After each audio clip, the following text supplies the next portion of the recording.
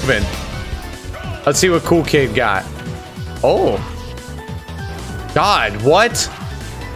What?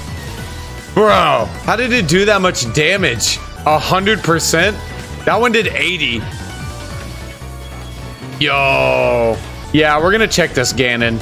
That's insane. What they need to do is they need to upload their spirits list and their stats list. My tablet doesn't have a camera, but I can leave and tell you spirits.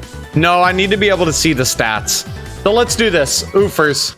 If you don't mind, hop out of the arena and let me play it really quick. 201 damage from one up smash.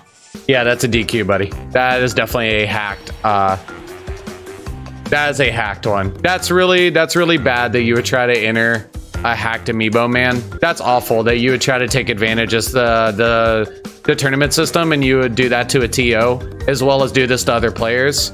You, you can leave, Hawk. I really hope you feel bad because that's not fair what you did to these other players. And don't act like you don't know because I've run plenty of tournaments, Iconic Hawk. I literally know the exact answers people give when they get caught.